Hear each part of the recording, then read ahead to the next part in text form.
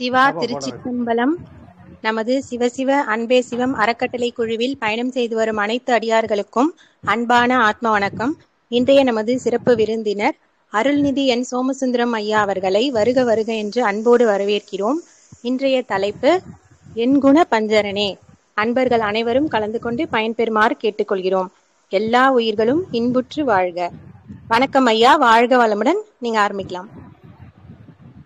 எல்லா உயிர்களும் என்புற்று வாழ்க கொல்லா விரதம் குவலமயமெல்லாம் ஓங்குக என்ற வள்ளல் பெருமானாருடைய வாக்கிற்கிணங்க எல்லா உயிர்களையும் மதித்து போற்றி வாழுகின்ற உன்னதமான வாழ்க்கை நெறியை நம் முன்னோர்கள் பலவாறு உணர்த்தி கொடுத்திருக்கின்றார்கள். அந்த வகையில் முருகப்பெருமானை நோக்கி பாடிய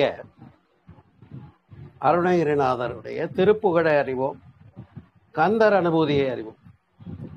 இந்த கந்தர் அனுபூதியிலே நெஞ்ச கனகல்லும் நெகிழ்ந்து உருக தஞ்சத்தருள் சண்முகனுக்கு இயல் சேர். செஞ்சோர் புனை மாலை சிறந்திடவே அந்த பஞ்சக்கரானை முகத்தான் ஆகிய விநாயக பெருமானுடைய பேரருளை வணங்குவோம் என்று பாடுகின்ற அழகான அந்த தொடக்கம். அதனிலே நாம் எந்த அளவுக்கு பொருள் புரிந்து முன்னோர்களுடைய வரிகளை சிந்தித்தோம் என்று பார்த்தால் அந்த ஆராய்ச்சிக்கே நம்முடைய வாழ்நாள் தேவைப்படும். அந்த அளவுக்கு அந்த காலகட்டத்தில் அவர்கள் அருமையான தூய தமிழிலே பாடியிருக்கிறார்கள் என்பதை நினைக்கிற போது பெருமிதம் கொள்ளாமல் இருக்க முடியாது அன்பர்களே.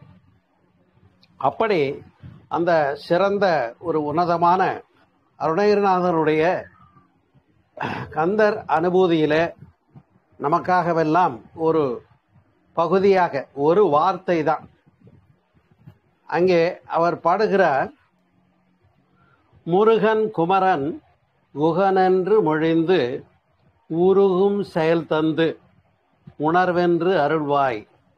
முருகன் குமரன் குகனென்று மொழிந்து உருகும் செயல் தந்து உணர்வென்று அரு அருள்வாய். அப்படியே பொறுபுங் கவரும் புவியும் பரவும் குருபுங்கவ குருபுங்கவ எண் குணபஞ்சரனே என்று சொல்லுகிறார். அந்த இடத்துல தான் அந்த எண் குணபஞ்சரனே என்று இன்றைக்கு நாம் சிந்திப்பதற்காக எடுத்துக்கொண்டிருக்கக்கூடிய அழகான வார்த்தை நாம் சிந்திக்கப் போகிறோம். அன்பர்களே இந்த எண் குணபஞ்சரனே என்ற நிலை இறைநிலையை மட்டுமே விளக்கிய வார்த்தை அல்ல. ஒரு எட்டு விதமான சிறந்த குணங்களை அதை கல்யாண குணங்கள் என்று சொல்லுவார்கள். இது இறைவனுக்கு அடையாளமாக சுட்டப்படும். ஆனால் கடவுளுக்கான குணங்கள் அல்ல. நாம் இந்த எட்டு தன்மைகளிலே நம்மை உயர்த்தி கொண்டால் அந்த இறைத்தன்மை அடைய முடியும் என்பதை விளக்கியதுதான் இந்த எண்குணத்தான் என்ற நிலை. இதை எண்குண பஞ்சரனே என்று அருணகிரிநாதர் குறிப்பிடுகின்றாரே அந்த எட்டு குணங்கள் என்னவாக இருக்கிறது என்று நாம் சிந்திக்கிற போது தன்வயத்தனாதல் தூய உடம்பினனாதல் இயற்கை உணர்வினனாதல் முற்றும் உணர்தல் இயல்பாகவே பாசங்களினின்றும் நீங்குதல் பேரருள் உடைமை முடிவிலாத ஆற்றல் உடைமை வரம்பிலாத ஆற்றலுடைமை என்று எட்டு குணங்களை சொல்லுகிறார். இங்கே எட்டு குணங்களாக சொல்லப்படுகிறது.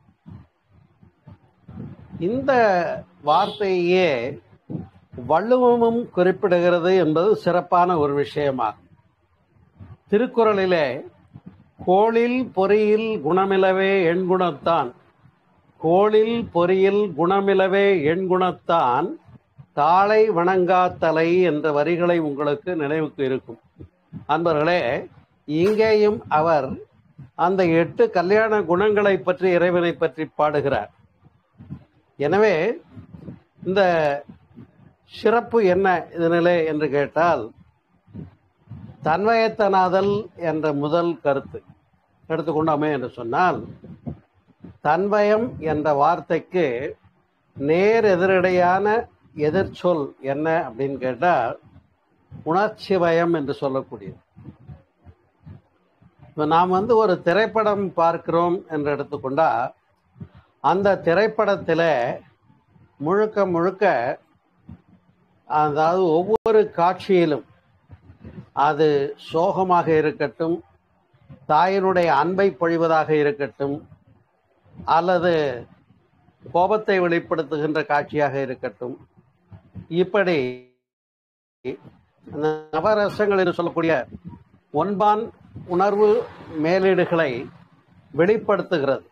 வெறுப்பு கோபம் காதல் மகிழ்ச்சி துக்கம் ஹாஸ்யம் அதாவது நகைச்சுவை என்றெல்லாம். அப்படி இது எல்லாமே என்னன்னு கேட்டீங்கன்னா உயிரினுடைய வெளிப்பாடுகளிலே. எந்த விதமான வெளிப்பாடு? உணர்ச்சி நிலைக்கு வருவதற்கான ஒரு முயற்சி தான் அந்த நிலை என்பதை நாம் அறிவோம். அப்படி அந்த காட்சிகளிலே நம்மை உணர்ச்சிப்பட வைப்பதிலே அந்த காட்சி அமைப்பாளர் வெற்றி பெற்றால் நாம் உணர்ச்சி பெற்ற உணர்ச்சி வசப்பட்டவராகிறோம். ஆனால் ஆன்மீக துறையை பொறுத்தவரையிலே நாம் இந்த உணர்ச்சி வயம் என்ற நிலைக்கு எந்த கோணத்திலும் நெகிழ்ந்து விடாமல் நம்மை நிலைப்படுத்துவதைத்தான் ஞானியர்களும் சான்றோர்களும் முன்னோர்களும் நெறிப்படுத்தி இருக்கிறார்கள் அந்த ஆளை இன்டியூஸ் பண்ணால் அவன் சீக்கிரமாக டென்ஷன் ஆகிடுவான்டா அப்படிங்கிற நிலைமை இருந்தால் அது தவறு. அது கோபவசப்படுவதிலே மட்டுமல்ல என் மகிழ்ச்சியாக இருக்கட்டும் அன்பை வெளிப்படுத்துவதாக இருக்கட்டும் எல்லா வகையிலும் அந்த உணர்ச்சியினுடைய உச்சகட்ட நிலைமைக்கு சென்று விடாமல் அந்த தன்வயப்பட்ட நிலை என்ற நிலையில இருப்பதைத்தான் தன்வயத்தனாதல் என்று இங்கே சொல்லுகின்றார்கள். அப்ப இந்த தன்வயம் என்ற சொல்லுக்கு சரியான விளக்கம் காண்போமே என்று சொன்னால் புலனடக்கம் என்று சொல்லலாம். ஐந்து புலன்கள் மூலமாகத்தானே நாம் வெளியே வருகிற போது என்ன ஆகிறோம்? அந்த காட்சியை பார்த்ததுல எனக்கு கண்ணில் தண்ணியே வந்துருச்சு. அப்படின்னு சொல்றோம். அல்லது அந்த உணவை சுவைத்ததில் எனக்கு ஒரு பெரிய மகிழ்ச்சி ஏற்பட்டது என்று அந்த உணவினுடைய மேன்மையை உணர்ந்து பேசுகிறோம். இப்படி மெய்வாய் கண்மூக்கு செவி என்று சொல்லக்கூடிய ஐந்து நிலைகளிலும் புலனடக்கத்தை கொண்டு வருவதற்கு எது உதவுகிறது என்று சொன்னால் தவம் என்று சொல்லக்கூடியது.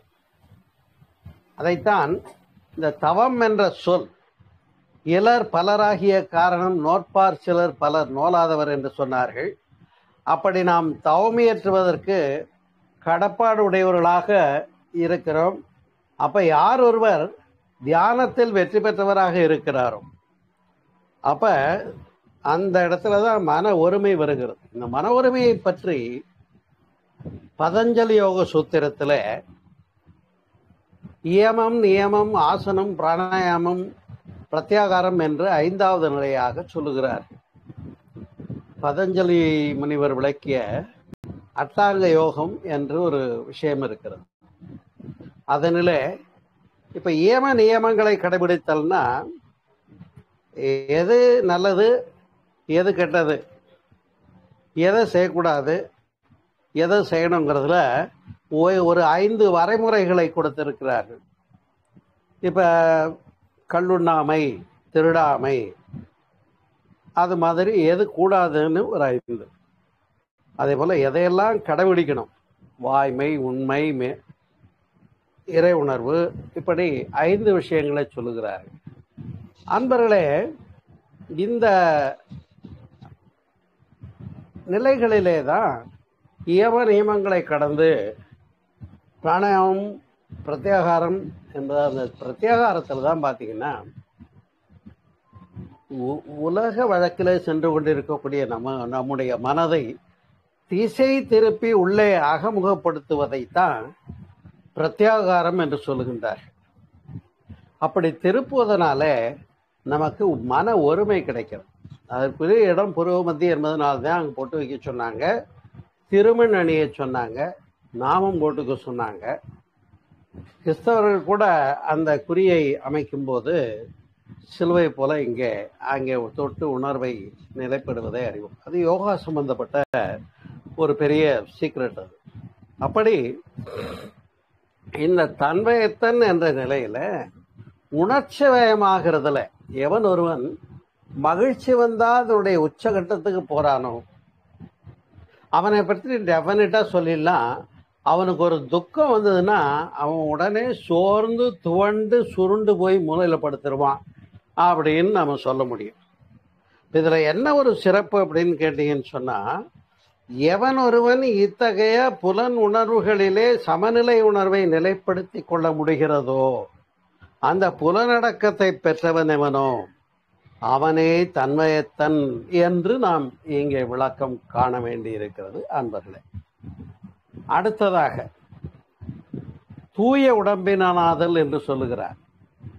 இந்த தூய உடம்பினன் என்று சொல்லுகிற போது அன்பர்களே நமக்கெல்லாம் மூன்று உடல் இருக்கிறது. பருவுடல் இந்த ஸ்தூல தேகம். நுண்ணுடல் என்று சொல்லக்கூடிய உயிரை குறிக்கும் உயிர். மூன்றாவதாக பருவுடல் நுண்ணுடல். அப்புறம் காந்த உடல் என்பது. இந்த முதல் இரண்டு உரை உடல்களை பற்றி சொல்லுகிற போது புறந்தூய்மை நீரால் அமையும். இந்த பருவுடலை எப்படி சுத்தம் பண்ணுறோம் குளித்து சுத்தம் பண்ணுறோம் அகந்தூய்மை வாய்மையால் அமையும். பொய் சொல்லிட்டோம்னு வைங்க. அடாடா பொய் சொல்லிட்டேனே அடாடா பொய் சொல்லிட்டேனேன்னு அங்கே ஒரு மிகப்பெரிய போராட்டம். உள்ளம் உறுத்துகிறது இல்லையா அப்ப அது. அதைத்தான் வள்ளுவம் சொல்லுகிறது. அகம் தூய்மை வாய்மையால் அமையும் உண்மை பேசுவதனால் அமையும் என்று. இப்ப ரெண்டு தூய்மை பார்த்தோம் இல்லையா? மற்றொரு தூய்மை என்ன அப்படின்னு கேட்டால் மூணாவது இந்த பருவுடல் நுண்ணுடல் காந்த உடல்னு மூன்று விளங்கினோம் இல்லையா? அந்த காந்த உடல் என்பதை அந்த நாள்ல பெரியவங்க பிரணவ தேகம்னு சொல்லியிருக்காங்க. இது காந்த உடல்ன்றது இன்றைக்கு நமக்கு மகரிஷி கொடுத்திருக்கிற விளக்கம் வேதாதிரி மகரிஷி அவர்கள். அந்த நாளில் அதை சொல்லும்போது ஸ்தூல தேகம் சூக்கும தேகம் பிரணவ தேகம் என்று சொன்னார்கள். இந்த பிரணவம்னா என்ன? அது முதல்ல தெரியணும் இல்லை பிரணவம்னா நீங்கள் எல்லாம் அறிந்திருப்பீர்கள் பிராணன் படுகின்ற அவத்தை நீக்குவது பிரணவம். அதாவது மூச்சு விட்டு இயங்கி கொண்டிருக்கக்கூடிய இந்த உயிர் உடம்புல சிக்குண்டு இருக்கிற வரைக்கும் இந்த ஜீவகாந்தம்னு ஒரு சக்தி நம்ம உடம்புல இருக்கு காந்த சக்தி. அதை கூட ஆரா ட்ரீட்மெண்ட்டுன்னு கேள்விப்பட்டிருப்பீங்க. பிராண சிகிச்சை என்று சொல்லுவார்கள். நம்முடைய குழுவில் கூட பிராணிக் ஹீலிங்னு நிகழ்வுகளை நடத்தி இருக்கிறார்கள். உங்களுக்கு நினைவுக்கு இருக்கும். அப்படி நம்முடைய உடல்ல இருக்கக்கூடிய உயிரணுக்கள் இருக்கிறது இல்லையா? செல்லுன்னு சொல்றோம். அந்த செல்களுக்கு இடையில ஒரு போலாரிட்டி ஆக்ஷன் இருக்கு. வட துருவம் தென் துருவம்னு. இது நாம தெரியாதனால தான் கஷ்டப்பட்டுக்கிட்டு இருக்கோம். அப்ப தூய உடம்பினாதல்ல புறந்தூய்மை நீரால் அமையும். எல்லோரும் சுத்தபத்தமாக குளிச்சுட்டு நல்லா இருக்கும் அமைத்து கொள்கிறோம் அகம் தூய்மைக்காக தான் அன்பு இறை வழிபாடு நேசம் கருணை என்றெல்லாம் நாம் வெளிப்படுகிறோம். நல்ல ஒழுக்கங்களை பின்பற்றுகிறோம். அதே போலத்தான் காந்த உடல் என்ற மூன்றாவது உடலை நல்ல முறையிலே பராமரிக்க வேண்டும் என்று சொன்னால் அன்பர்களே இங்கே அந்த உடல் என்று சொல்லக்கூடியது.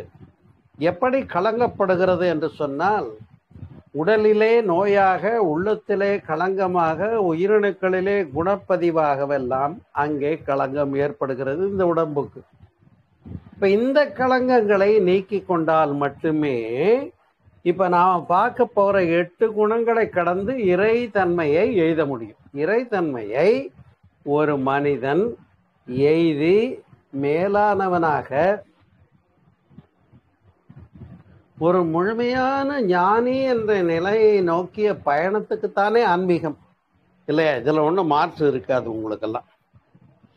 ஒருத்தர் நினைக்கிறார் இல்லைங்க கடவுளை அறிஞ்சுக்கிறதுக்கு தானே கடவுளை தேடிய பயணம் தானே அப்படின்னு சொல்கிறாங்க அது உண்மைதான். இருந்தாலும் தேடி போகிறவன் என்ன ஆகிறான்னா அந்த முழுமையான ஞானத்தின் முடிவில் அவன் வேறாக தான் வேறாக உணர்வதில்லை என்பதை வேதங்களும் சொல்லி இருக்கிறது பாருங்கள். ஆகையினாலே தான் இங்கே நம்மிடத்துல உ- உடலிலே இருக்கக்கூடிய புலன்களிலே பழக்கப்பதிவு மூளையிலே எண்ணப்பதிவு உயிரணுக்களிலே குணப்பதிவு இப்படியெல்லாம் வித்தினிலேயும் வந்து அந்த வித்து பதிவை அடுத்த ஜென்ரேஷனுக்கும் கொடுத்துட்றோம். அதுக்குத்தான் கருமைய தூய்மை என்று தவம் செய்வதனாலே நம்முடைய கருமையம் அதாவது ஜெனட்டிக் சென்டர்னு ஒன்று இருக்கு நம்மகிட்ட. அதுதான் நம்முடைய விந்து நாதம் என்று சொல்லக்கூடியது. அந்த விந்து நாதத்தில் என்ன இருக்குன்னா நம்முடைய முன்னோர்களுடைய நல்ல பதிவுகளும் இருக்கு முன்னோருடைய அல்ல தீய பதிவுகளும் இருக்குது இப்ப இந்த பதிவெல்லாம் தூய்மை அடையாம நாம இருந்தோம்னா நாம் மனிதன் மாமனிதன் ஆக முடியாது. ஓகே? இப்ப நாம எதை பத்தி பேசிட்டு இருக்கோம்? நாம எல்லாரும் மனிதர்கள். சரி. மனிதர்கள் மாமனிதர் என்ற நிலைமைக்கு நாம் உயர வேண்டும். அப்படி மனிதன் மாமனிதன் என்ற நிலைமைக்கு உயர்வதற்கான முயற்சி தானே ஆன்மீகம் என்று சொல்லக்கூடியது. அதை தான் இந்த எட்டு குணங்களிலே தன்மயத்தனாதல் தூய உடம்பினாதல் இயற்கை உணர்வினாதல் என்று சொல்லுகின்றார்கள். அப்ப நாம் கொள்ளக்கூடிய காம குரோத லோப மோக மதம் ஆச்சரியம் என்று சொல்லக்கூடிய பேராசை சீனோம் கடும்பற்று முறையற்ற பால் கவர்ச்சி உயர்வு தாழ்வு மனப்பான்மை வஞ்சம் என்ற ஆறு குணங்களை நீக்கிக் கொள்ள வேண்டும். இந்த ஆறு குணங்கள் எங்கேருந்து வருதுன்னு கேட்டால் மனிதனுக்கு யான் எனது என்பதிலிருந்து வருது. யான் என்கிற ஒரு தகப்பன் எனது என்கின்ற ஒரு தாய் வச்சுக்கோங்க. இப்போ இந்த ரெண்டு தம்பதியரும் சேர்ந்து இந்த தம்பதியர் சேர்ந்து பிறக்கிற குழந்தைகள் தான் அருகுணங்கள் என்று சொல்லக்கூடியது. அப்போ இங்கேதான் இந்த உடம்பை என்ன பண்றது? தூய உடம்பினாதல் என்பதை சொல்லி அடுத்ததாக இயற்கை உணர்வினாதல் என்று சொல்லுகின்றார்கள். அன்பர்களே இயற்கை என்றால் என்ன என்று நாம் சிந்திப்போம் என்று சொன்னால் அன்பர்களே இந்த உலகம் மனிதனினாலே இப்ப நிறைய மாற்றப்பட்டிருக்கிறது.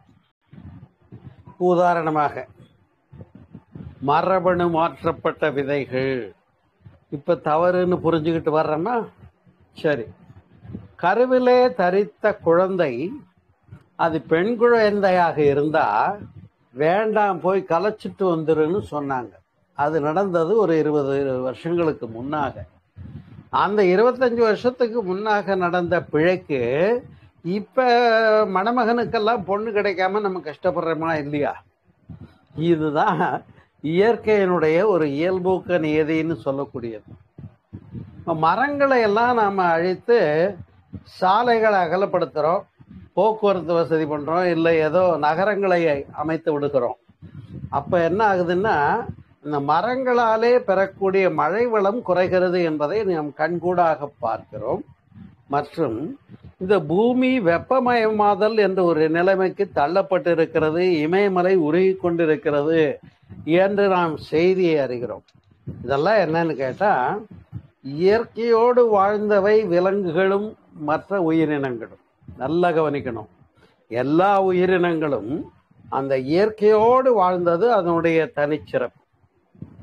ஆனால் அந்த இயற்கையை விட்டு விலகி வந்தது யாருன்னா மனிதன்தான். எவ்வளவுக்களவு நாகரிகம் பெருக்கெடுத்து வந்து கொண்டிருக்கிறதோ விஞ்ஞானம் உள்ளே புகுகின்றதோ அந்த அளவுக்கு மரபணு மாற்றப்பட்ட விதைகள் வந்து விட்டது. கருத்தறியாமை காரணமாகிவிட்டது அப்போ அதுக்கு தனியா கருத்தரிப்பு மையங்கள் வைக்க வேண்டிய தேவை வருகின்ற அளவுக்கு ஆயிட்டோம். நம்முடைய உணவும் நஞ்சாகி உடலும் நஞ்சாகி போகிறது பாருங்கள். அப்ப நம்ம இயற்கையிலிருந்து எவ்வளவு மாறுபட்டு வெளியில வந்துட்டோம் அப்படிங்கிறத நாம கொஞ்சம் புரிஞ்சுக்க வேண்டியிருக்கு. புரியலன்னா அது நமக்கு புரிய வைக்கிறதுக்கு தயாரா இருக்கு. சரியா? எது? இயற்கை. அதை தான் இயற்கை உணர்வினாதல் என்று மூன்றாவது கருத்திலே நமக்கு அந்த எண்குணத்தான் என்ற தலைப்பிலே சொல்லப்படுகின்ற சிறப்பாகும் அன்பர்களே. அப்படி இயற்கை உணர்வினன் என்று சொன்னால் இயற்கையினுடைய இயக்க ஒழுங்கு என்று சொல்லலாம். த ரிதம் ஆஃப் நேச்சர் என்று சொன்னால் உங்களுக்கு புரியும். ஆங்கிலத்தில் சொன்னால் சில பேருக்கு நல்லா புரியும். அதனால் இயற்கைன்னு சொன்னால் புரியல சார். ரிதம் ஆஃப் நேச்சர் இயற்கையினுடைய சீர்மை இருக்கு பாருங்க. அதுக்கு என்ன சீர்மை இருக்குன்னு கேட்குறீங்களா பேட்டர்ன் ப்ரிசிஷன் ரெகுலாரிட்டின்னு மூணு இருக்கு. தன்மை துல்லியம் இயக்க ஒழுங்கு. சரியா? இப்போ உங்களுக்கு புரிய வைக்கணும்னா ஒரு உதாரணம் சொல்கிறேன் அன்பர்களே. இப்போ நாம் வாகனத்தை ஓட்டிட்டு சாலையில் அந்த வாகனத்துடைய நல்ல வேகத்தில் போயிட்டுருக்கோம். இப்போ சாலைக்கெல்லாம் ஒரு விதிகள் வகுத்து கொடுத்துருக்காங்க. இருந்தால் கூட கொஞ்சம் கண்டசந்தா என்ன ஆயிடுது? ரெண்டு அல்லது மூணு அல்லது பல வாகனங்கள் மோதி டம் டமால் ஆயிடுது. இல்லையா? சரி இது நாம மனிதன் செய்கிற வாகன ஓட்டுதல்ல விதிகள்ல இப்படி இருக்க. நாங்க இயற்கை இழத்துக்கின்ற இந்த பேரியக்க மண்டலம் பிரபஞ்சம்னு ஒண்ணு இருக்கு இல்லையா? அந்த பிரபஞ்சத்துல என்ன இருக்கு? பூமி தன்னைத்தானே சுத்தி கொண்டு சூரியனை சுற்றி வருகிறது. இந்த பூமியை தன்னைத்தானே சுற்றி கொண்டு சந்திரன் சுற்றி வருகிறது. இந்த சந்திரனும் பூமியும் பூமியும் சூரியனை சுற்றி வருவது போலவே மற்ற கோள்களும் தன்னைத்தானே சுற்றி கொண்டு சூரியனை சுற்றி வருகிறது. இந்த சுழற்சி சூரிய குடும்பம் என்று கண்டால் இது போல எத்தனையோ கேலக்சியில நிறைய சுழற்சிகள் இருக்கு. இப்ப இந்த சுழற்சிங்கிறது தான் அந்த பேட்டர்ன் ப்ரெசிஷன் ரெகுலாரிட்டியில் இருக்கிறதுனால தன்மை துல்லியம் இயக்க ஒழுங்கு அதில் இருக்கு. அப்போ அந்த துல்லியம் இருக்கிறதுனாலே தானே சார் நீங்கள் வந்து இந்த ஆண்டு பஞ்சாங்கமோ அல்லது கேலண்டரோ அச்சிட்டு கொண்டு வந்து வச்சுட்டு பார்க்குறீங்க அதில் இத்தனாம் தேதி கிரகணம் வரப்போகுது சூரிய கிரகணம். இத்தனாம் தேதி சந்திர கிரகணம் வரப்போகுது. அப்படின்னு சொல்லி அதில் போடுறாங்க. அப்போ அந்த கணிப்பு கரெக்டாக அதை கணிக்க முடியுது அதுவும் அது போலவே அதே நேரத்துக்கு நிகழுதா இல்லையா? அப்போ அதுதான் தன்மை துல்லியம் இயக்க ஒழுங்கு என்று சொல்லக்கூடிய அந்த தனி சிறப்புடையதாகும் ஆகினாலே தான் அன்பர்களே இந்த இயற்கையின் ஒழுங்கை புரிந்து கொள்ள வேண்டும். அதை இயற்கை உணர்வினாதல் என்று மூன்றாவது கருத்தாக முன்வைக்கிறார். யாரு? அருணகிரிநாதர் சொல்லுகிற எண்குணத்தானிலே சொல்லப்படுகிறது. ஆகையினாலே தான் நண்பர்களே இங்கே உடலிலே அந்த ஜீவகாந்தம் என்று ஒன்றை சொன்னோம் இல்லையா? அந்த ஜீவகாந்த சீர்மையை நாம் பெற்றிருக்க வேண்டும். எந்த புலன் மூலமாக உயிராற்றலை செலவு செய்கிறோமோ அது இன்பம் என்று அறிகிறோம். ஆனா அந்த ஜீவகாந்த தன்மை குறைவுபடுகிற போது அதே புலன் போதும் என்னை விட்டு என்னால் முடியல தலை வலிக்குதுன்னு சொல்லுது. வாயெல்லாம் எரியுது அது சாப்பிட வேணாம்னு சொல்லுது. உடம்பெல்லாம் முடியல அந்த அந்த எவ்வளோ சந்தோஷமாக இருந்தாலும் அந்த தொய்ப்பை எனக்கு போதும்னு அதுவே இன்டிமேஷன் கொடுக்குது. ஆனால் மனிதன் என்ன பண்ணுறதில்ல கொள்ள வேண்டிய அளவு முறைகளை கொள்றதில்லை. இது உங்களுக்கு ஞாபகப்படுத்தவா? உணவு அளவோடு இருக்கணும். அளவின் மிகுனும் கேடு குறையினாலும் கேடு. உழைப்பு அதுபோல் அளவோடு இருக்கணும். அளவு மிகுனும் கேடு குறைந்தாலும் கேடு. உணவு உழைப்பு ரெண்டு பார்த்தோமா? உறக்கம் அளவின் மிகினும் கேடு குறைந்தாலும் கேடு. தூங்க வேண்டிய அளவுக்கு தூங்கித்தான் ஆகணும் ஓய்வு கொடுத்தாகணும். இந்த உடலுக்கு அது இயற்கையினுடைய லா ஆஃப் நேச்சர் எல்லா உயிர்களும் அதை ஃபாலோ பண்ணிக்குது.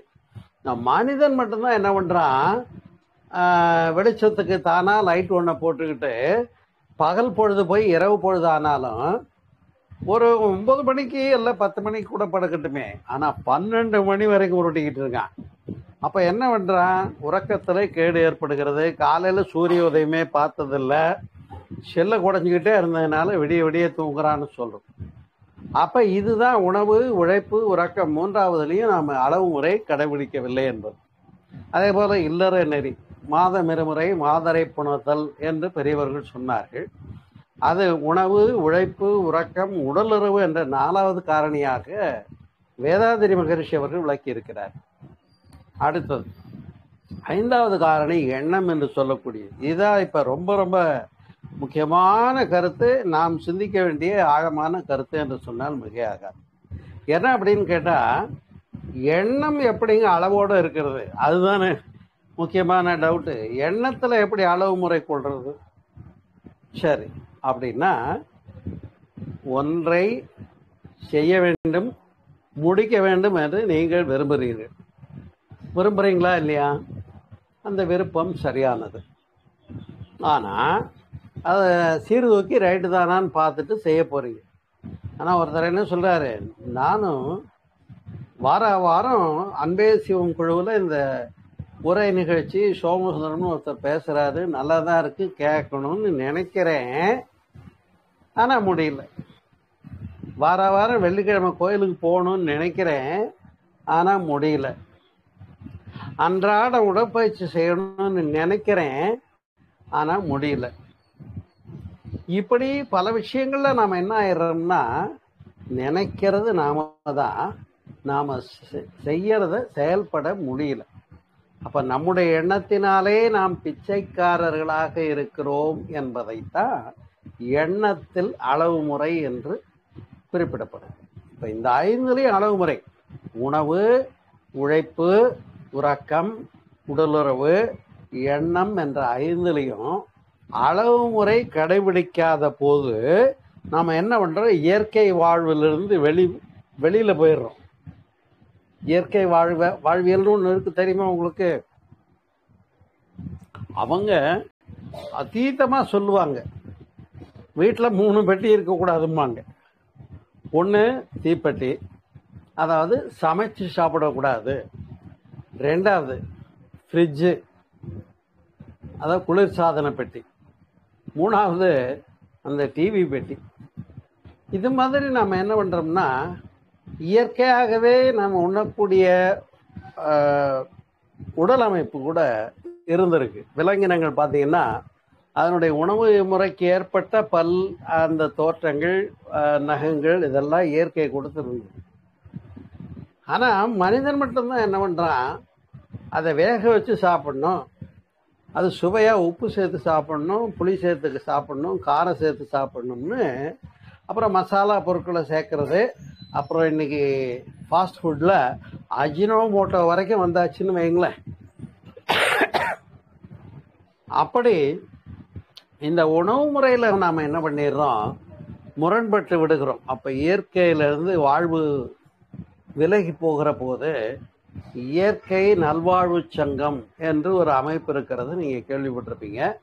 அங்கே சமைக்காத பச்சை காய்கறிகளை உண்ணச் சொல்லி நமக்கு பயிற்றுவிக்கின்றார்கள். நல்ல முறைதான் நல்ல விஷயம்தான். அனைவரும் கடைபிடிக்கலாம். சிறப்பு. சரி. அடுத்த கருத்தாக முற்றும் உணர்தல் என்று சொல்லக்கூடிய அன்பர்களே இந்த முற்றும் உணர்தல்ன்றதுல எதை குறிப்பிடுகின்றார்கள் என்று சொன்னால் இருக்கிறது மூணு விஷயம்தான். எது?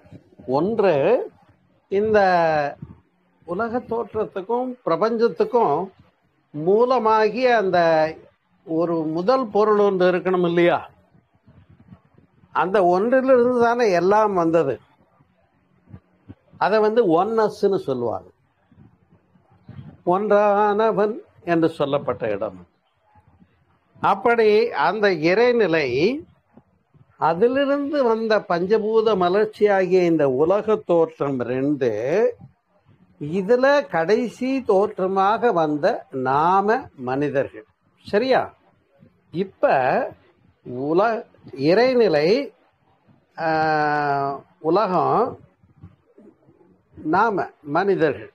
இதை வந்து சைவ சித்தாந்தம் என்ன சொல்லுதுன்னா பதி பசு பாசம் உண்மை உணர்தல் என்று சொல்லுகிறது.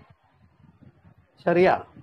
பதி என்றால் இறைவன் பசு என்றால் ஆன்மா பாசம் என்றால் பிணைத்திருக்கக்கூடிய இந்த உலகம் நமக்கு கூட ஒரு டவுட் வந்திருக்கும். என்னன்னு?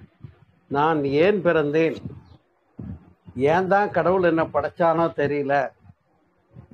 ஏன்? மற்றவன்லாம் சௌக்கியமாக இருக்கான். நான் தான் கஷ்டப்படுறேன்னு எல்லாரும் நினைக்கிறான். அப்ப இந்த நான் ஏன் பிறந்தேன் என்ற ஒரு சிந்தனை. அப்ப அந்த அதை தான் ஞானம் என்ற எழுச்சியாக நாம் காண்கிறோம் இந்த இடத்துல. அப்ப அன்பர்களே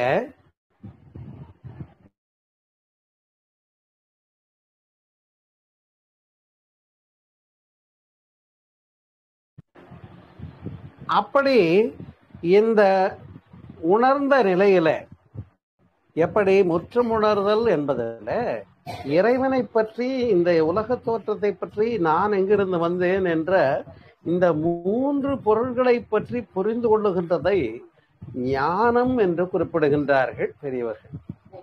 இது எது என்ன ஏன் எப்படி எங்கிருந்து எதுவாக. இது புரியணுமா இல்லையா? இப்போ நான் ஏன் பிறந்தேன்? நான் என்ன செய்ய வேண்டும்? நான் என்ன முடிவாக புரிஞ்சுக்கிட்டு வாழ்க்கையை கொண்டு செலுத்தும். இந்த கேள்விகளை நாம் புரிந்து கொள்வதற்காக தான் அந்த முற்றும் உணர்தல் என்ற வார்த்தையை வைக்கின்றார்கள் பார் அப்ப இதை தான் உள்ளதை உணர்தல் என்று சொல்லுவது. ஏன்னா அந்த மூலமாகிய இறைநிலை உலகம் நான். இந்த மூன்றுக்கு உள்ள தொடர்பை பதி பசு பாசம் என்று சொல்லி விளக்கி இது பதியினை போல் பசு பாசம் அனாதி என்று சைவ சித்தாந்தமும் சொல்லுகிறது. அப்ப இதை தான் ஞான முடிவு என்று சொல்லக்கூடியது. அந்த ஞானத்தினுடைய முடிவுல அது ஒரு வேடிக்கையான ஒரு பதில் ஒன்று வரும் பாருங்க. ஆன்மீக வழியில போகிறோம் போனால் எதை செய்யலாம் எதை செய்யக்கூடாது எப்படி இருக்கணும் எப்படி இருக்க வேண்டாம் இது எல்லாமே விதிகளை நிறைய சொல்லி கொடுத்துருக்காங்க இப்படியே அந்த விதிகளை எல்லாம் பின்பற்றி கொண்டே போகிற போது அன்பர்களே அந்த தேடுதல் அல்லது ஞானத்துல முடிவாக காண்கிற ஒரு பொருள் என்னன்னு கேட்டா தேடுறதுக்கு அங்க ஒன்றும் இல்லை. அந்த இறைநிலையே தான் இங்க நாம வந்திருக்கிறோம். இந்த பிணக்குக்கெல்லாம் காரணம் இறைவனை அன்றி நான் வேறாக இருக்கிறதே இந்த எல்லா தப்புக்கும் காரணம்னு ஒரு விடை வரும். புரியுதுங்களா? சொல்ற மறுபடியும் சொல்றேன். நல்லா கவனிச்சுக்கோங்க. இந்த உயிர் என்ன பண்ணது? நாம இறைவனை தேடி பயணப்படுகிறோம்.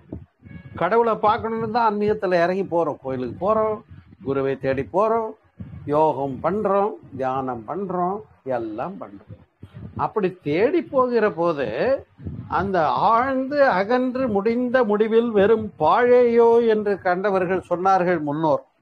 ஏன்னா முன்னால போனவங்கலாம் அதுக்கு முடிவை கண்டிருக்காங்க. அப்படி அவங்க கண்ட ஒரு பேருண்மையை என்ன சொன்னாங்க கடைசியில? வெட்ட வெடிதனை மெய்யந்திருப்போர்க்கு பட்டயம் எதுக்கடி குதம்பாயின்னு பாடினாங்க சித்தர்கள்.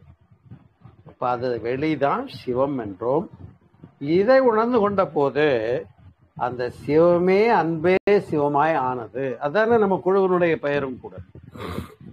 அந்த சிவமே அன்பே சிவமாய் ஆனது. அன்பு சிவம் இரண்டன்பர் அறிவிலர்.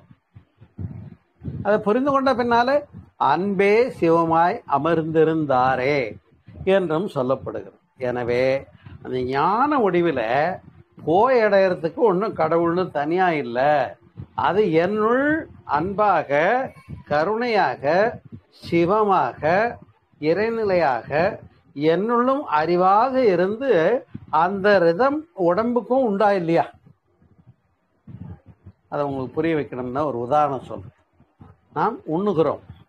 அப்படி உண்ணும் போது ஒரு உணவு எடுத்துக்குவோம். இப்ப மதிய உணவு சாப்பிட போறோம்னு வச்சுக்குவோம் எல்லாம் கொண்டு வந்து தட்டில் பதமா வச்சுட்டாங்க அதை எப்படி பக்குவமாக ஒன்றோட ஒன்று சேர்த்து தொட்டுக்கிறதுக்கு கூட்டு பொரியல் அல்லது எல்லாமே அதில் எத்தனை ஐட்டங்களை சேர்த்துருக்காங்க? இதெல்லாம் பதமாக சேர்த்து கொடுத்து அதை நம்ம சாப்பிடும்போது ஆகா நல்லா இருக்குன்னு அந்த ஒருபடி சாப்பாட்டை சாப்பிட்றமே தவிர இதை நான் தான் கடைக்கு போய் வாங்கிட்டு வந்தேன். அம்மா தான் சமைச்சாங்க. கடைக்காரர் தான் கொடுத்தாரு. இதில் புற விஷயங்கள் எத்தனை இருந்தாலும் இதை உண்ட பின்னே அந்த உணவு தன்மாற்றம் பெறுவதில் இதற்கு வளர்சிதை மாற்றம் என்று விஞ்ஞானம் சொல்லுகிறது. அப்படி உணவு தன்மாற்றம் பெற்று உடம்பிலே கலப்பதில் இதுக்கு கீழே போன பின்னால ஏதாவது மாற்றம் இருக்கா பாருங்க. நம்ம கையில் ஏதாவது பொறுப்பு இருக்கா பாருங்க. இதுதாங்க புரிந்த உண்மை. அப்ப இந்த மாதிரி முற்றும் உணர்தலை நாம் நிறைவு பெற்று முழுமை அறிவு பெற வேண்டி இருக்கிறது என் கையில் ஒன்றும் இல்லை. ஒரு லிமிட்டுக்கு மேலே அந்த பேராற்றல் நடந்ததுன்னு புரிஞ்சுட்டு சும்மா இருக்க சொன்னது தான் கந்தர் அனுபூதியினுடைய சிறப்பு தெரியுமா? ஆகையினாலே தான் சும்மா இரு சொல்லற என்றலுமே அம்மா பொருள் ஒன்று மறிந்தலனே என்று அருணகிரிநாதர் பாடுகிறார். அதே கந்தர் அனுபூதியில சும்மா இரு சும்மா இரு சொல்லற. மறுபேச்சு இல்லாம. அப்ப சும்மா இருக்கிறதுனுடைய சுகத்தை சொன்னது தான் அருணகிரிநாதனுடைய தனிச்சிறப்பு. அப்படி. இப்போ அடுத்த கருத்தாக. இயல்பாகவே பாசங்களினின்றும் நீங்குதல் என்று சொல்லுகிறார். இப்போ வந்த பாசங்களில உழன்று கொண்டிருக்கிறோம் என்று பார்த்துட்டோம். அதுக்கு என்னுடைய முனைப்பு தான் வந்து என்ன பண்ணுது? என் பொருளாதாரம் என் பணம் என் வீடு என் காசு என் சொந்தம் என் உறவு என் மனைவி என் மக்கள் என் பேரை என் பேத்தின்னு நான் எனதிலிருந்து இந்த மற்ற வட்டங்கள் எல்லாம் வந்து விட்டது பாருங்க. அப்ப இதெல்லாம் புரிந்து கொள்ளுகிற போது நான் என்று நினைக்கிறதுக்கு ஒண்ணுமில்லை. அந்த இறைநிலையே அத்தனையுமா வந்திருக்குன்னு சொல்லும்போது அது தானா நம்ம நடத்த போது நாம நம்ம டியூட்டியை மட்டும் பார்த்தா போதும்னு ஒரு புரிஞ்சுக்கிட்டோம்னு வைங்க. அதை தான் இயல்பாகவே பாசங்களினின்றும் நீங்குதல். என்று குறிப்பிடுகின்றார்கள் அந்த இடத்துல. அப்ப அது இதுதான் நிலையாமையை புரிந்து கொள்ள வைக்கிறது. நிலையாமை என்று சொன்னால் அன்பர்களே வாழ்க்கை நிலையாமை என்று சொல்லுகின்றார்கள். அந்த நிலையாமை என்பது எது என்று கேட்டால் நெருநல் உளன் ஒருவன் இன்று இல்லை என்னும் பெருமை உடைத்து இவ்வுலகு. ஏ நேத்திக்கு வாழ்ந்தவன் இன்னைக்கு இல்லையா? சாயந்தரம் பார்த்தோம். அவன் இன்னைக்கு இல்லாமல் போயிட்டான். முடிஞ்சது. கதையெல்லாம் முடிச்சுட்டு வந்தாச்சு. இதுதான் இந்த உலகத்துக்கு தனிச்சிறப்பு அப்ப அந்த நிலையாமையினுடைய சிறப்பை புரிந்து கொள்ள வேண்டும். அப்ப நிலையாமையை புரிந்து கொள்ளுகிற போது இயல்பாகவே அந்த விளக்கம் பாசங்களிலிருந்து எப்படி வரும் அப்படின்னு கேட்டா நிலையாமையை புரிந்து கொண்டு இந்த உலகம் மாயை. இந்த தோற்றம் மாயை. நாம் விருப்பம் தெரிவித்து விரும்பி மகிழ்ந்திருப்பதெல்லாம் நிலையில்லாதது என்று. இது புரிஞ்ச பின்னால நிலையானது எதுன்ற ஒரு கேள்வி வரணுமா இல்லையா? அப்ப அந்த நிலையானது எது என்று கேட்டா அந்த கேள்விக்கு பதில் முதல்ல பார்த்தோம் இல்லையா? இறை பொருள் என்று சொல்லக்கூடிய மெய்ப்பொருள் என்று சொல்லக்கூடிய சிவம் தான் அந்த இறைநிலை வேற ஒன்றும் இல்லை. புரியுதுங்களா? அப்ப இதைத்தான் அடுத்த காரணியாக சொன்னாங்க. அடுத்து ஆறாவது காரணியாக இப்படி ஒரு நெகிழ்ந்த மலர்ச்சியை அறிவினாலே முதிர்ச்சியை என்ன பண்ணுறோம் முற்றும் உணர்தல் இயல்பாகவே பாசங்களில் என்றும் நீங்குதல் என்று கடந்து பேரருள் உடைமைக்கு வந்தோம். மனிதன் என்ன இப்போ? அன்பு. அந்த அன்பே எல்லை கட்டி இருந்தால் அதுவே பாசமாயிடுது. பாசம் அதிகமான வாழ்க்கையில் வழுக்கி விழுகிறான். ஆனால் அதே அன்பு என்னவாக மலரணும்? அன்பு பெருக்கெடுத்து அருளாக மாற்றம் பெற வேண்டும். கருணையாக மலர வேண்டும். உயிர்களிடத்தில் தயவாக மிளிர வேண்டும். அந்த தயவு என்று சொல்லக்கூடிய புரிகிறதா? அப்படி அந்த பேரருள் நிலைக்கு போகிறதுக்கான பயணம்தான் இது. அப்ப அன்பு கருணை தயவு அருள் என்ற அருளாளர் நிலைக்கு உயரம் ஏற்படுகிற போது வாழ்க்கை எப்படி இருக்கணுங்கிறத ஒரு இலக்கணம் சொல்கிறார்கள் பாருங்க. என்னன்னு கேட்டா இந்த அன்பு செய்யறதுல நாமெல்லாம் என்ன பண்றோம்? நான் உனக்கு அம் அன்பா இருக்கணும்னா நீ எனக்கு இப்படி நடந்தாதான் நான் உனக்கு அன்பா நடப்பேன் அப்படின்னு ஒரு ரெண்டு பேருக்கு இடையில ஒரு ஒரு கண்டிஷன் போடுறாங்க. நிபந்தனைன்னு சொல்லுவோம் இல்லையா? கண்டிஷன் ஆங்கிலத்தில் தமிழில் நிபந்தனை. இப்போ இந்த அது பேரருள் நிலைமைக்கு மலரும் போது பேரருள் உடைமைன்னு சொன்னாங்க இல்லையா? அந்த நிலைக்கு மலரும் போது எப்படி இருக்கும்னா நிபந்தனையற்ற அன்பாக மலரும். வேற ஒன்றும் அதுதான் அருளாளர்கள் உள்ளத்து உரைபவன் என்று சொன்னார். புரிகிறதா? வேற ஒன்றும் அடுத்து ஏழாவது காரணியாக முடிவில் ஆற்றலுடைமை முடிவில் ஆற்றலுடைமை முடிவிலா ஆற்றலுடைமை. அதாவது அளவில்லாத ஆற்றலை அப்போ பாருங்க யான் எனதை வச்சுட்டு அன்பு செய்யும் போது என்னுடைய மனைவி என்னுடைய மக்கள் என்னுடைய குழந்தை என்னுடைய செல்வம் என்னுடைய சொத்து என்று எல்லை கட்டி விடுகிறோம். அப்ப நம்முடைய ஆற்றல் குறைந்து படுகிறது. அதே அந்த பேரருளுடைமைக்கு வந்து முடிவில்லாத ஆற்றல் பெற வேண்டும் என்று சொன்னால் நாம் அனைவரும் அருளாளர்களாக மாற்றம் பெற வேண்டும். வேற ஒன்றுமில்லை. அப்ப அது எப்படி இருக்கும்னு கேட்டா முடிவில்லாத ஆற்றல்ன்றத விளக்குறாங்க. தொடக்கமும் முடிவும் இல்லாதவன் யார்? இறைவனை பற்றி சொல்லுகின்றார். புரியுதுங்களா? அப்போ நாம் எப்படிப்பட்டவர்கள்? நாம் பிறந்தோம் இறக்க போகிறோம்னு தெரியும். ஆனால் இந்த உடலுக்குத்தான் அழிவு. அப்போ இந்த உயிர் ஆன்மா இருக்கிறது பாருங்கள். அந்த ஆன்மா அழிவற்றது என்ற பேருண்மையை உணர்கிறோம். அப்படி ஆன்மா அழிவற்றது என்ற பேருண்மையை உணர்கிற போது அங்கே முடிவிலா ஆற்றலை புரிந்து கொள்கிறோம். ஏன் ஆன்மா தான் அழிவற்றதாச்சு அப்ப எனக்கும் முடி தொடக்கமும் முடிவும் இல்லை என்று புரிதல் வரும். அதனால்தான் எங்கும் உள்ளது எது? என்றைக்கும் உள்ளது எது? மேல் கங்குல் பகலர நீக்கமர நின்றது எது? அதுவே கண்டனவேலாம் நாம பார்க்கிற எல்லாத்துலயும் மோன உருவெளியதாகவும் மௌனம். அதாவது அலையில்லாத இருப்பு. அலையா இருந்தா எல்லை கட்டிய ஆற்றல். அலை இல்லாம நிலையா இருந்தா எல்லை இல்லாத ஆற்றல் அதுதான் இறை நிலை அதனால்தான் இறை நிலை என்று சொன்னார்கள் அப்ப அதைத்தான் எங்கும் உள்ளது எல்லாம் வல்ல தெய்வமது எங்கும் உள்ளது நீக்கமர சொல்லால் மட்டும் நம்பாதே சுயமாய் சிந்தித்தே தெளிவா என்று சொன்னாங்க. அப்ப அதைத்தான் பரிபூரணன் என்று சொன்னார். பரிபூரணம்னா இந்த டோட்டல் கான்செப்ட் அது அளவில்லாதது. அதை நினைச்சு பாருங்களேன். நம்ம இந்த உலகத்தை பார்க்குறோம் இதில் உள்ள மகிழ்ச்சிகளை தூக்கும் போதே சந்தோஷமா இருக்க. நீங்க அப்படியே விரிந்து போய் இந்த உலக தோற்றத்துக்கு மூலமாக இருக்கக்கூடிய பே- அந்த பேராதார சக்தியோட கலக்கிறதுக்கு தவத்துல தியானத்துல நீங்க உணர்வால மன விரிந்து அந்த ஞானியர்களும் தபஸ்விகளும் சித்தர்களும் கண்டார்கள். கண்டதை நமக்கு உணர்த்தி கொடுத்தார்கள். அப்ப இது முடியுமான்னு கேட்டா இது முடியும். இதைதான் வரம்பிலா ஆற்றலுடைமை என்று அடுத்த கருத்தாக விளக்குகிறார்கள். எட்டாவது கருத்தாக வரம்பிலா ஆற்றலுடைமை.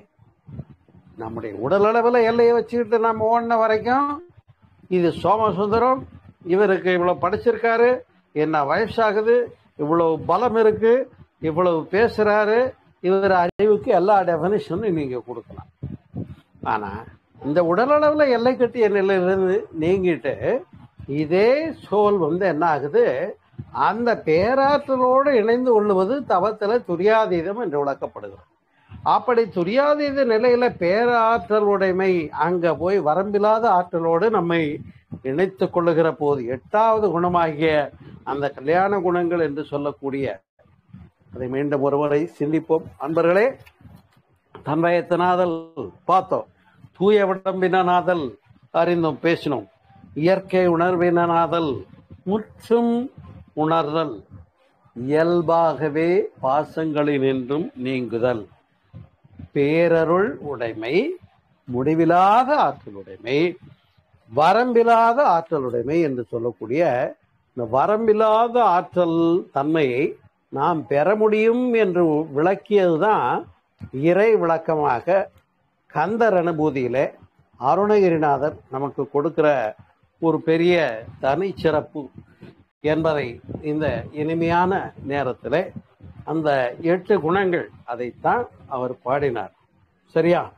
அதை தான் இன்றைய தலைப்பாக நாம் சிந்தித்திருக்கிறோம்.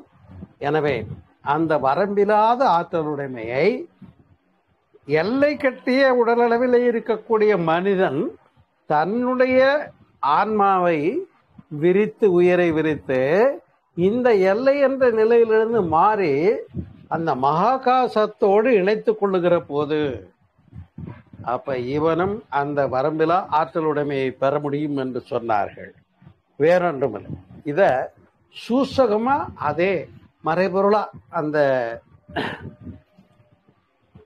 கந்தர் அனுபூதியில அருணகிரிநாதர் பேசுறாங்க பாருங்க. எல்லாம் அற எல்லாம் அற. எல்லாம் போய் தொலைய. ஒன்றும் மிச்சமில்லை எல்லாம் அற. என்னை இழந்த நலம். இங்கே நான்றதுல இருந்தாயா எல்லாம் வந்தது? இப்போ ஆன்மீகத்துக்குள்ள முத படி எடுத்து வச்சா எதை விடணும்னு அடிக்கடி சொல்லுவேன். உங்களுக்கு ஞாபகம் வரணும் இந்த நேரத்துக்கு. நான் எனது யான் எனது எனும் செருக்கருப்பான் என்று புரிந்து கொள்ள வேண்டும் அப்ப எல்லாம் அற. என்னை இழந்த நலம். ஆஹா. அந்த எண்ணெயே இழந்துட்ட போது அங்க முருகா நீதான காட்சி கொடுக்கிற? எல்லாம் அற என்னை இழந்த நலம் சொல்லாய் முருகா சுரபூபதியே என்று பாடுகிறார் அந்த கந்தர் அனுபூதியில். சரியா?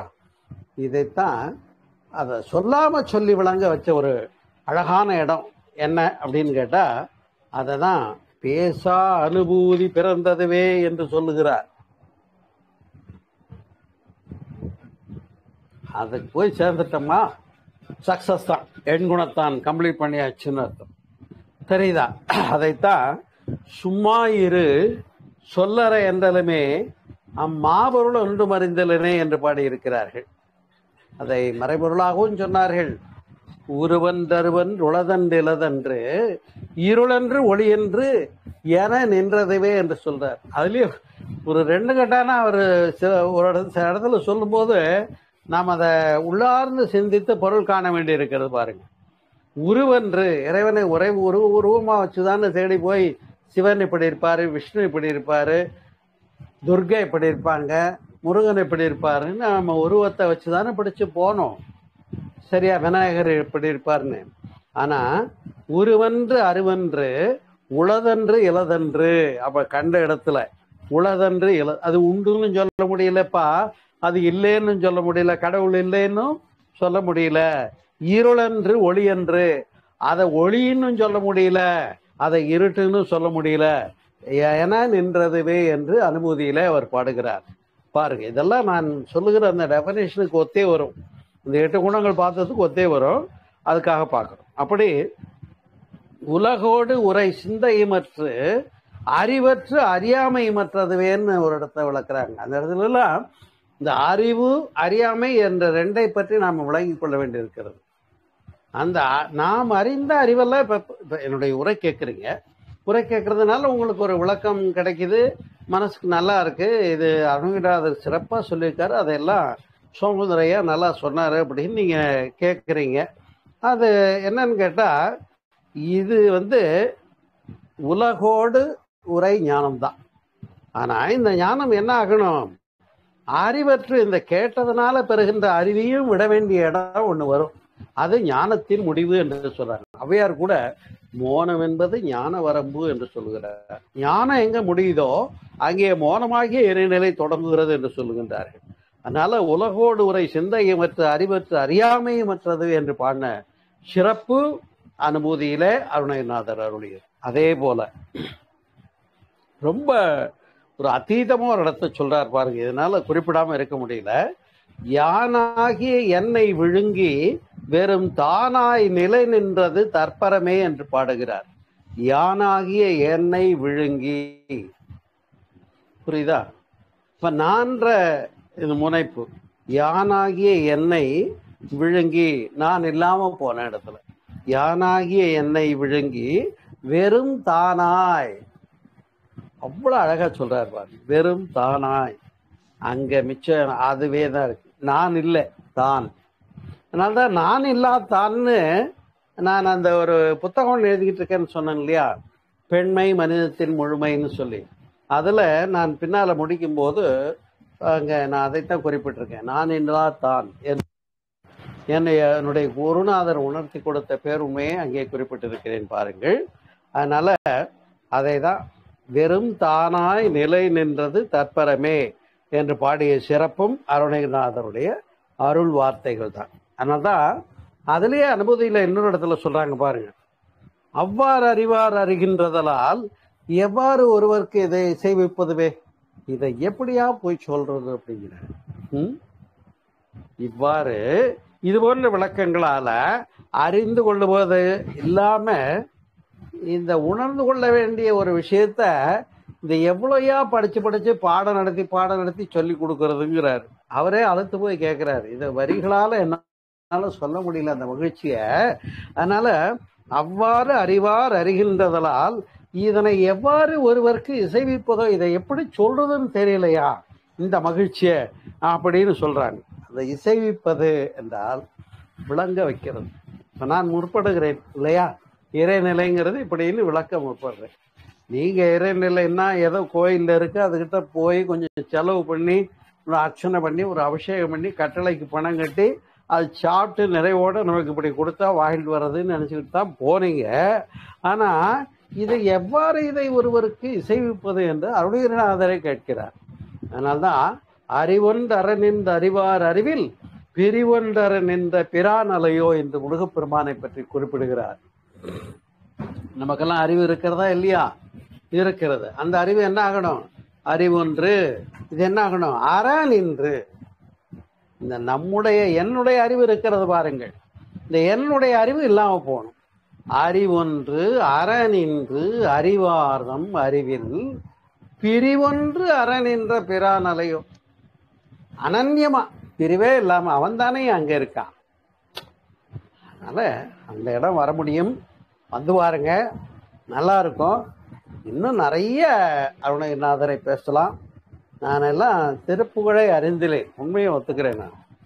சரியா? ஆனால் அவ்வளோ பெரிய ஒரு இலக்கிய கடல் அது. அதே நேரத்தில் என்னால் அனுபூதியை அனுபவிக்காமல் இல்லை. அதை மகிழாமல் இல்லை. அது எனக்கு இளம் வயதிலே மன்னனமான ஒன்று. அதனால் உலகோடு உரை சிந்தையை மற்று அறிவற்று அறியாமையை மற்றது என்று சொன்ன யானாகிய என்னை விழுங்கி வெறும் தானாய் வெறும் த- வெறும் தானாய் வெறும் தானாய். புரிஞ்ச ஆகணும் உங்களுக்கு. அதை பல நூல்களில் பல விளக்கங்களை என்னுடைய ஸ்பீச்சில் பேசியிருக்கேன் கேளுங்க. வெறும் என காலம் கருதி நிறைவு செய்ய வேண்டியிருக்கிறது.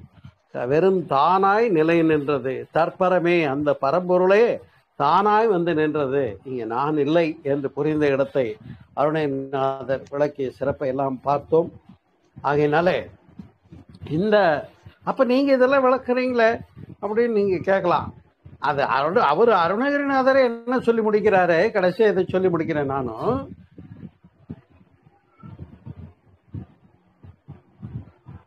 யாம் ஓதிய கல்வியும் எம் அறிவும். யாம் ஓதிய கல்வியும் எம் அறிவும். இப்ப நான் படிச்சுட்டு பேசினேன். அனுபூதியா படிக்கிறேன். படிச்சு கு- குருநாதர் விளக்குறாரு. நான் புரிஞ்சுக்கிட்டேன். அப்ப யாம் ஓதிய கல்வி கற்றது ஓதப்பட்டது. யாம் ஓதிய கல்வியும் எம் அறிவும் எங்கிருந்து வந்தது? அப்படிங்கிறாரு. குரு சொன்னாரு நான் தான் கேட்டேன். ஆனா இதுக்கு மேல யாம் ஓதிய கல்வியும் எம் அறிவும் தாமே பெற வேலவர் தந்ததனால்ன்றார். பாருங்க அந்த பாரத்தை கொண்டு போய் அங்க போட்டுறாரு. யாமோதிய கல்வியும் எம் அறிவும் தாமே பெற வேலவர் தந்ததனால் என்று சொல்லுகின்ற அழகான நிலையெல்லாம் நாம் சிந்திக்கின்ற போது இந்த அறிவும் அவன் தந்தது என்று சொல்லுகிறார். எனவே இந்த அறிவு அந்த அறிவோடு இணைகிற போது அவன் சொன்ன சொல்லைத்தான் இவனும் பேசியிருக்கிறார். இவன் தனியே இல்லை என்று கூறி இந்த ஒரு அருமையான உரை விளக்கத்தை இன்றைக்கு மனதார உங்களோடு பேசியிருக்கேன். ரொம்ப மனம் நிறைவாக உங்களோட பேசியிருக்கேன். கொஞ்சம் அந்த இடத்துக்கு வாங்க. சரியா? இந்த யான் எனது போனா அவன் காட்சி அளிப்பான். யான் எனது போனால் அவன் உங்களுக்குள்ள அவனாவே இருந்து அருளுவான். உங்களை வழிநடத்துவான் அந்த இடத்துக்கு நீங்களும் போக முடியும். நோ டவுட் என்று சொல்லி இந்த உரையினை நிறைவு செய்கிறேன். நன்றி வணக்கம். வாழ்க வளமுடன். வாழ்க வளமுடன் வாழ்க வளமுடன். கோளில் பொறியில் குணமிலவே என் குணத்தானே சிறப்பா பார்த்தோம். நன்றி. வாழ்க ஐயா மிக்க நன்றி. அற்புதமா பேசுனீங்க. இன்னைக்கு ரொம்ப எக்ஸலண்டா இருந்தது. அந்த எண் குண பஞ்சரணுமே அப்படின்ற சொல்றதுக்கான அந்த எட்டு குணங்களை பத்தியும் சொல்லி அதுக்கான மீனிங்கும் சொன்னீங்க. ரொம்ப ரொம்ப அருமையா இருந்துச்சு. அருணகிரிநாதர் வந்து ஒரு லைன்ல சொல்லிட்டு போயிட்டாரு எண் குணங்கள் அப்படின்னுட்டு. அந்த எட்டு குணங்களை வந்து இவ்வளோ அதை எக்ஸ்பிளைன் பண்றதுக்கு நமக்கு ஒன் ஹவர் ஆகுது. அப்ப அதை ஃபாலோ பண்றதுக்கு எவ்வளவு நம்ம ட்ரை பண்ணணும் அப்படின்னு தெரியுது நல்லா. ரொம்ப ரொம்ப பேசியிருக்கேன். கொஞ்சம் நம்ம முயற்சியும் இந்த போன்ற பெரியவங்களுடைய வழிகாட்டுதலும் இருந்தா அதுதான் இங்க இருக்குன்னு புரிஞ்சுக்கிட்டு நான் இல்லைன்ற இடத்துக்கு வர்றதுக்கு நம்ம பக்குவம் முயற்சி தான் தேவைப்படுது. கண்டிப்பா கண்டிப்பா. ரொம்ப ரொம்ப அருமையா இருந்துச்சுங்க சார். நன்றி. மிக்க நன்றி மிக்க நன்றி. வேற ஏதாவது கேள்வி இருந்தா கேளுங்க. வித்யாமா? வித்யாமா?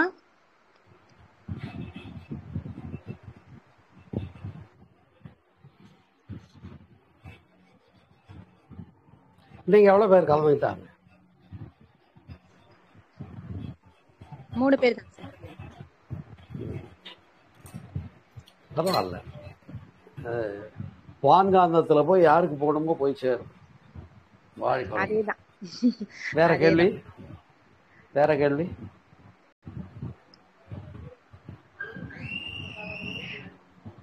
ஐயா சிறப்பு ஐயா ரொம்ப நல்லா இருந்தது.